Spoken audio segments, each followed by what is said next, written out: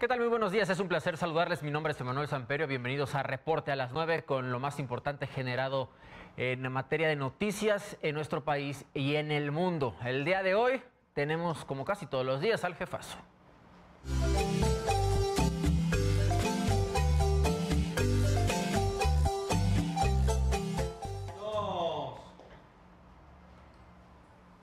¿Qué? Muy buenos días y esta vez me parece que no se va a poder salvar porque vamos a tener que platicar de temas de seguridad y es que recientemente hubo un operativo en Tepito en donde detuvieron a 32 personas. Bueno, pues eh, liberaron a 27 de las 32 personas, al parecer, y dicho por palabras de usted, por un error administrativo, un error de papeleo. Jefazo, buenos días, ¿qué nos puede platicar de eso?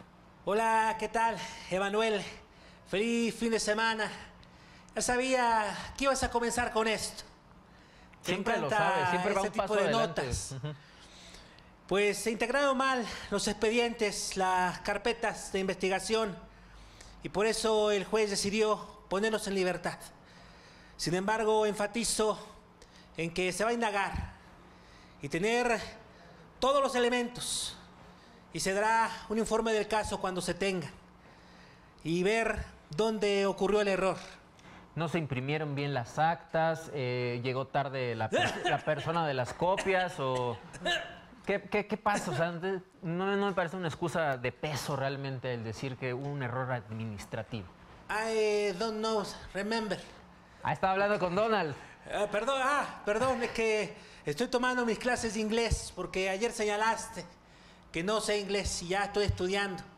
Pues que le vendría bien, bien tomar unas clases de inglés para entablar una conversación con Donald. Pero estamos hablando de temas de seguridad, no hay que desviarnos del tema. Es que estoy ya aprendiendo a entender en inglés y a pensar en inglés. Entonces no te entendí, Emanuel, pero igual, si gustas traducir tu pregunta, con gusto estoy abierto a responderla. Ah, que se la formule en inglés. Please.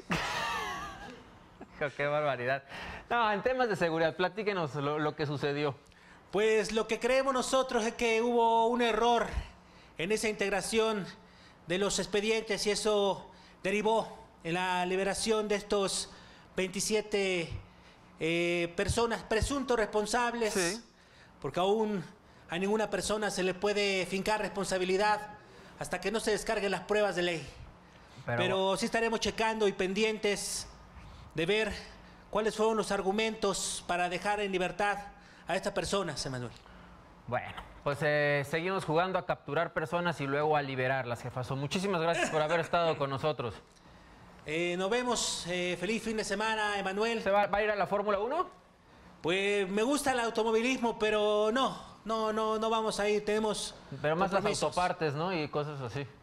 Tenemos compromisos, ah, Emanuel, pero ahí nos te encargamos reporte estarás por allá en, la Fórmula 1. Esperen, esperemos que estemos por ahí. Muchas gracias, jefazo. Debes las tostadas todavía, Manuel, te seguimos esperando.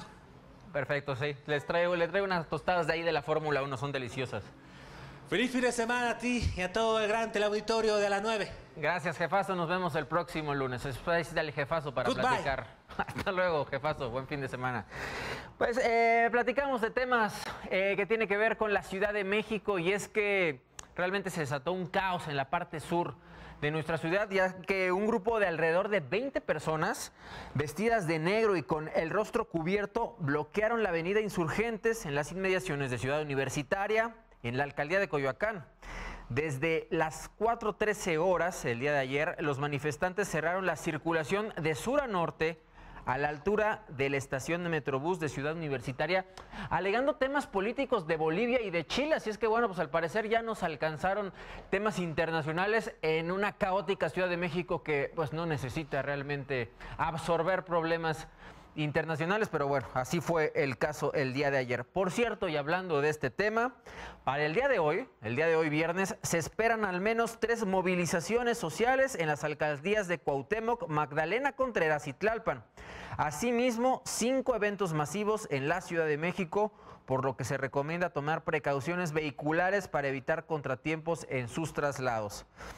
Eh, desde las 9.30 de la mañana se espera una peregrinación de la Unión de Asociaciones de los Nueve Giros del Mercado de las Flores y Hortalizas de la Central de Abastos con dirección a la Basílica de Guadalupe. Así es que hay que tener cuidado en estas tres alcaldías porque pues el tránsito va a ser pesado por este tipo de movilizaciones. Varias calles van a estar cerradas. Le repito, la alcaldía Cuauhtémoc, Magdalena Contreras y Tlalpan hay que estar al pendientes con esta situación.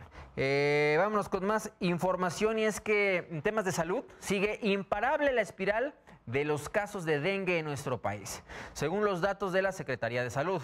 En la semana 42, con el corte al 21 de octubre pasado, el panorama epidemiológico de dengue publicado en la página oficial de Internet de Salud suman ya 26.697 los casos confirmados en el país que triplica la cifra registrada durante el mismo periodo del 2018, es decir, hace un año, en que se confirmaron 7.911 personas que contrajeron el virus transmitido por el mosquito Aedes aegypti. Así es que, bueno, pues también tomar las precauciones necesarias. Ya son el triple de personas de hace un año que adquirieron el virus del dengue. Las recomendaciones, por supuesto, en época de lluvias es vaciar eh, cualquier tipo de recipiente, no importa el tamaño, que esté a la intemperie, para que este no sea un foco de infección que propaga el dengue del mosquito. Así es que, bueno, pues ahí está la información. Vámonos a temas internacionales rápidamente. Y es que Argentina irá a las urnas el domingo a votar en unas elecciones que podrían significar un giro en el rumbo económico del país y un retorno hacia un modelo inversionista. En caso de materializarse las expectativas de un triunfo del peronismo que indican las encuestas, las principales fuerzas que se disputan la presidencia en los cuatro años por delante son Juntos por el Cambio, donde Mauricio Macri busca la reelección para seguir con un proyecto de apertura económica y el Frente de Todos de Alberto Fernández, que propone una mayor regularización estatal. Hay que recordar que Argentina recientemente cayó en una crisis, en una fuerte crisis económica. Eh, Mauricio Macri es el actual presidente y uno de los eh, principales culpables, según los argentinos y la prensa y toda la sociedad de economía, lo culpan a él. Así es que muy probablemente eh, pierda las elecciones. Hay que esperar. Vamos a una pausa comercial y regresando, precaución, hombres cocinando. Yo soy Emanuel Samperino.